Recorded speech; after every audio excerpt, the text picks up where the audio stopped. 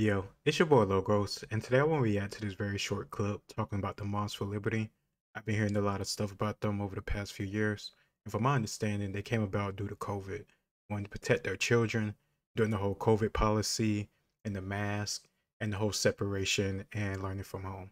From my understanding, COVID had a very big negative impact on children, socially, academically, and I think we're going to see the repercussions of that much more as time goes on.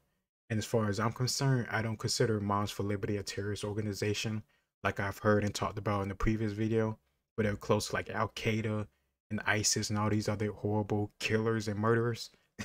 it's crazy ACLU, from my understanding, labeled them a, a hate group or a terrorist organization or something like that.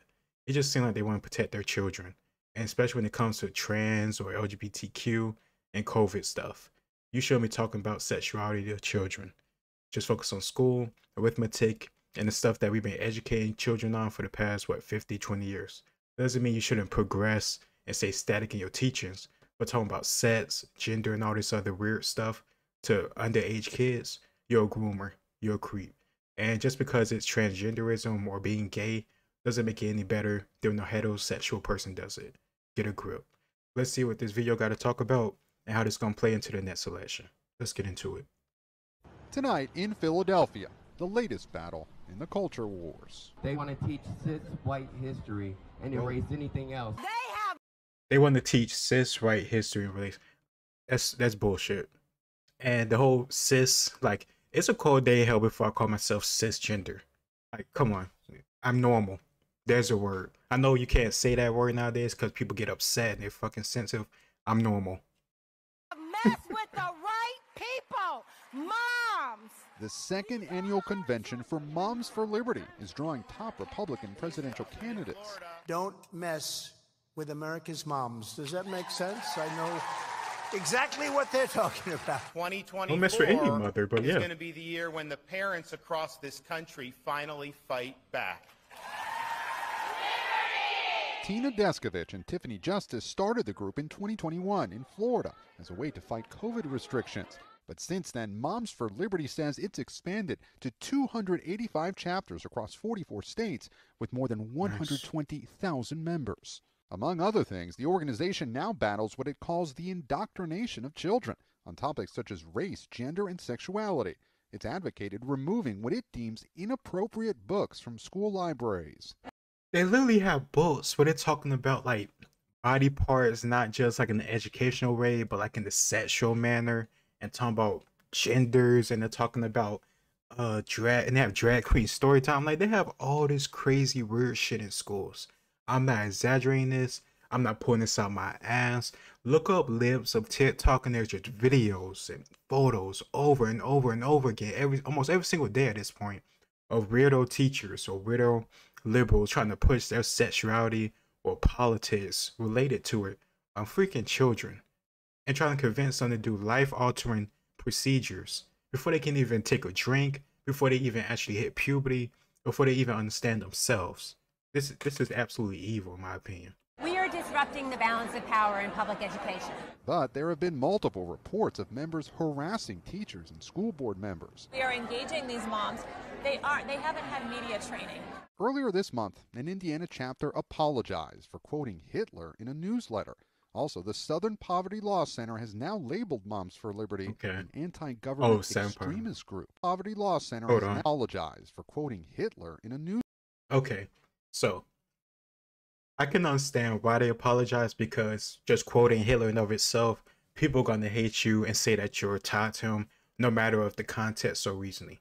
But I, I just go, I just find this hilarious that they had to apologize, and this MS, not MSNBC, I think NBC, yeah, NBC is trying to use it as some type of what evidence that they're a hate group. But all the time we hear them calling people Nazis, this and the other, for just differences of opinion. They're not saying that we need to have a Hitler Youth group or bring back fascism or Nazism. He the quote simply says, "He alone who owns the youth gains the future." And from my understanding, and from listening to the content and the stuff that they push or stand against, they're simply saying that they don't want the children owned by the state.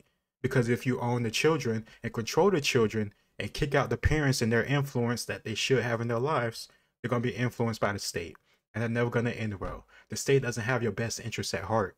The, the, the state doesn't even know you.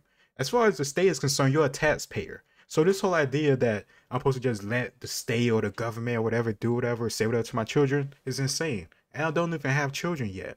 But come on, these are innocent people, innocent kids, innocent children. Newsletter.